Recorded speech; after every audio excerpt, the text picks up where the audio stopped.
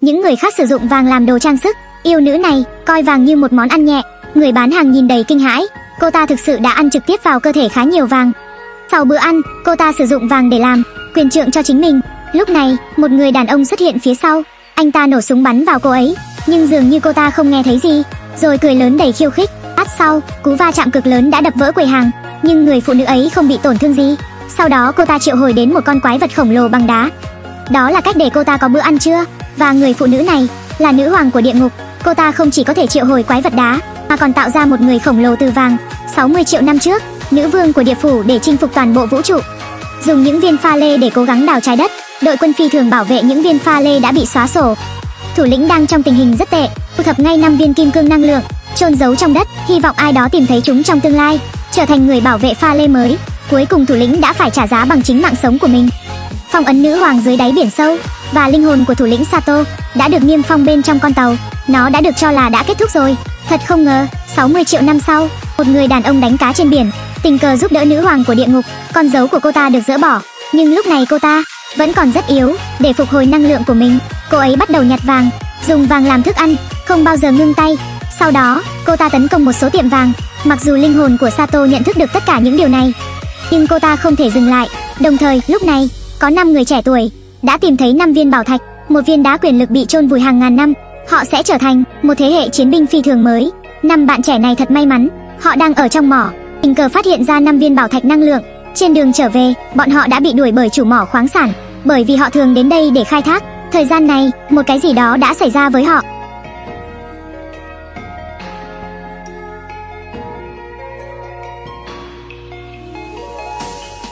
Bàn tay anh chàng cầm viên bảo thạch, anh bạn nhỏ, không có gì xảy ra chứ? Và có hàng tá cơ nổi lên trên cơ thể anh chàng. Sức mạnh của anh cũng trở nên đáng sợ, những người khác cũng vậy. Anh chàng da đen đạp nhẹ chân ga, cửa sắt bị xé toạc, chiếc xe lộn mấy vòng và rồi, có một sự phấn khích rất đỗi kinh ngạc, bóp điện thoại ngay tại chỗ, cho đến khi cả ba gặp nhau, họ đã nhận ra viên đá quyền lực họ đã nhặt đêm qua không giống như một viên đá bình thường. Để điều tra việc này, năm người đi bộ vào mỏ, họ leo lên núi như người nhện, tiến thẳng lên đỉnh núi. Thật sự quá liều lĩnh, họ đã nhảy qua vách núi, vách đá cách xa hàng trăm mét, họ nhảy qua một cách dễ dàng, nhưng khi đến lượt anh chàng da đen, do quá phấn khích, vô tình bị rơi xuống vực. Hai cô gái khá lo lắng, các bạn có nước ở dưới đó, tôi ổn. Xuống đi các bảo bối. Nghe này, một số người còn lại cũng nhảy xuống vách đá. Dưới nước, họ nhìn thấy một bức tường nước kỳ diệu. Không chỉ có vậy, trong bức tường nước vẫn có một vị tướng, tàu vũ trụ khổng lồ của người ngoài hành tinh, trong khi một số người vẫn chưa thể tin vào mắt mình. Viên đá quyền lực đột nhiên đỏ rực lên, cửa tàu nhanh chóng mở ra, họ dũng cảm dám bước vào, nhìn thấy không gian rộng lớn bên trong, đám đông ngạc nhiên và vui mừng. Tại thời điểm này, phi thuyền bỗng khởi động đột ngột, là một người máy xuất hiện, trước mặt họ ngay lập tức, robot này tên là trứng thép. Nó nói nhiều lần, Sato đã đợi bạn ở đây 60 triệu năm, mọi người đã gặp Sato. Sau một lượt giao tiếp, năm người cũng hiểu ra bản chất của tất cả sự việc này. Lúc đầu họ nghi ngờ, đôi khi cho đến khi Sato sử dụng công nghệ cao. Hãy để họ nhìn thấy tương lai, cảnh tượng kinh hoàng của nhân loại bị hủy diệt bởi nữ hoàng. Sau đó, họ tin những gì Sato nói, muốn ngăn chặn thảm họa này, họ sẽ trở thành một thế hệ chiến binh siêu anh hùng mới. Nhưng bây giờ, với sức mạnh của họ, vẫn không thể kích hoạt viên đá sức mạnh để hoàn thành quá trình biến đổi. Không cần nói thêm nữa, robot huấn luyện họ ngay lập tức, dựa trên đội quân của nữ hoàng, theo cách mô phỏng, chỉ cần đánh bại họ, đến gần nữ hoàng của địa phủ. Lúc bắt đầu, một số người bị đánh đập nên họ không thể tìm thấy phương bắc nào cả. Nhưng sau nhiều ngày rèn luyện, thực lực của năm người nhanh chóng được nâng lên rất nhiều. Anh chàng da đen cũng được sự giúp đỡ của trứng thép. Tìm vị trí chính xác của viên thiên thạch, hôm nay, trứng thép cũng đưa họ đi xem bộ giáp khủng long. Có điều, yêu cầu chuyển đổi hoàn toàn để kiểm soát chúng, được thúc đẩy bởi sự tò mò, một đồng đội đã không tuân thủ, bí mật lái xe ô tô chạy ra ngoài. Kết quả đúng như dự tính, bộ giáp khủng long không nghe lời, suýt gây ra một thảm họa. Khi anh chàng trở về, bụi bay lên bởi áo giáp, gần như chôn vùi năm người đó. Anh chàng đẹp trai trong cơn thịnh nộ, vừa đánh nhau với đồng đội, bỗng có biến đổi kỳ lạ trên người anh chàng da đen. Dừng lại ngay lập tức, tôi không mong đợi động thái này, nhưng vô tình kích hoạt viên đá sức mạnh để hoàn thành quá trình biến đổi. Nhưng chỉ một lát sau, bộ giáp đã được cởi ra một lần nữa. Xem ra, muốn học cách biến đổi, vẫn cần thêm thời gian. Tuy nhiên, vào đêm đó, nữ hoàng đã tìm thấy bọn họ. Một số người hoàn toàn không phải là đối thủ của nữ hoàng. Ít hơn hai vòng quấn, họ đã bị trói. Nếu không nói vị trí của viên kim cương, nữ hoàng sẽ giết từng người một, không có bất kỳ sự lựa chọn nào. Anh chàng da đen chỉ có thể nói, có thể kéo dài thêm thời gian. Nữ hoàng thực sự tàn nhẫn vứt bỏ anh chàng da đen. Họ nhanh chóng đưa anh chàng da đen đi, nhờ Sato giúp đỡ, nhưng Sato cũng nói rằng anh ấy không thể làm gì được. Lúc này, mọi người bắt đầu tự trách mình. Nếu nó có thể, họ đều sẵn sàng đánh đổi mạng sống của mình để lấy cậu ấy. Và lực lượng hợp nhất này, trên thực tế đã kích hoạt viên đá sức mạnh và biến đổi thành lưới điện.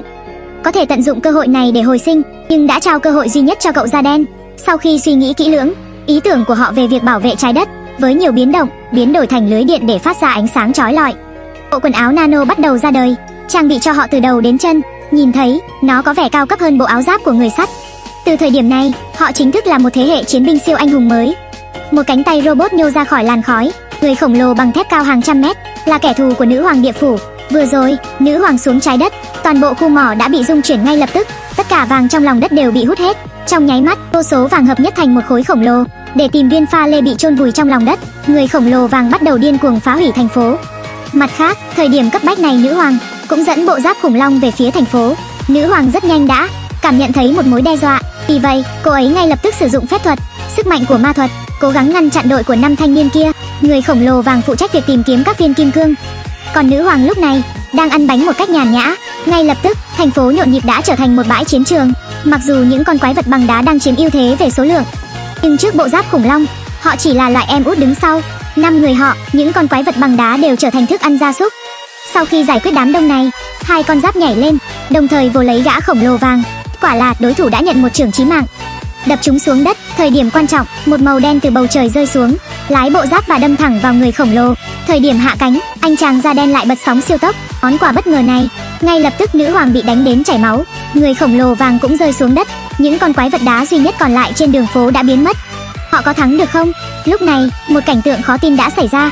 Sau khi hấp thụ vàng, nữ hoàng ngay lập tức được hồi sinh bằng máu. Cô ta cũng cảm thấy viên kim cương ở dưới chân mình, gã khổng lồ thậm chí không nghĩ về nó. Hắn dùng tay đấm vào một cái lỗ trên bàn chân, chắc chắn viên kim cương ở bên dưới để bảo vệ viên pha lê. Mọi người đều sôi nổi, không bao giờ có thể gây sát thương. Trước một động thái như vậy, không nghi ngờ gì nữa, hãy hành động ngay thôi. Vừa vặn chiếc búa giáp khủng long của anh chàng rơi xuống đất.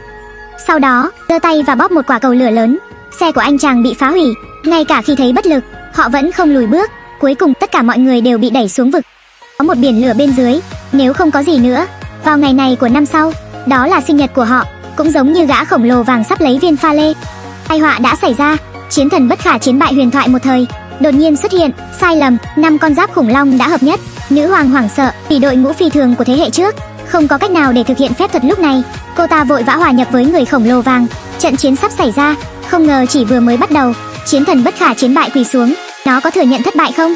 Thực ra, đó là bởi vì họ vừa mới gặp nhau, chưa thích nghi với vị trí tương ứng của mình. Sau khi đứng lên, hai người khổng lồ đánh nhau tay đôi. Dưới sự chỉ huy của anh chàng đẹp trai, chiến thần hạ gục nửa khuôn mặt của đối thủ chỉ bằng một cú đấm. Không chịu thua kém gã khổng lồ vàng, trả lại họ hai cú đấm. Thật không ngờ, chiến thần chợt hiểu ra điều đó. Người khổng lồ vàng bị đá bay rất tức giận, dứt khoát lấy ra con dao gã khổng lồ nặng 500 kg. Xông lên đầy hung hãn, anh chàng đẹp trai, họ đã xem thời gian, cho kẻ thù một cái ôm và ngã về phía sau.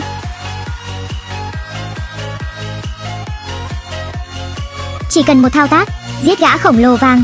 Ngay sau đó, nó rút ra hai lưỡi thép, hoàn toàn kết liễu cuộc đời của kẻ thù. Lát sau, nữ hoàng bị buộc phải ra ngoài, nhưng cô ta vẫn không cam lòng. Cô ta vô cùng tức giận, chuẩn bị sẵn sàng cho cây đũa phép thuật. Chiến thần tay trái chỉ là một gã khổng lồ, chỉ cần quạt cô ta ra khỏi trái đất, đông lạnh thành kem ngoài không gian. Cuộc khủng hoảng cuối cùng đã kết thúc một số người rất vui mừng, đồng thời điều khiển chiến thần bất khả chiến bại, nhảy vũ điệu chiến thắng. Những người dân nhanh chóng chụp lấy khoảnh khắc này, chụp ảnh và gửi cho bạn bè. Nếu như tôi có ở đó, đưa cho tôi 100.000 đô và tôi sẽ không lãng phí thời gian chụp ảnh.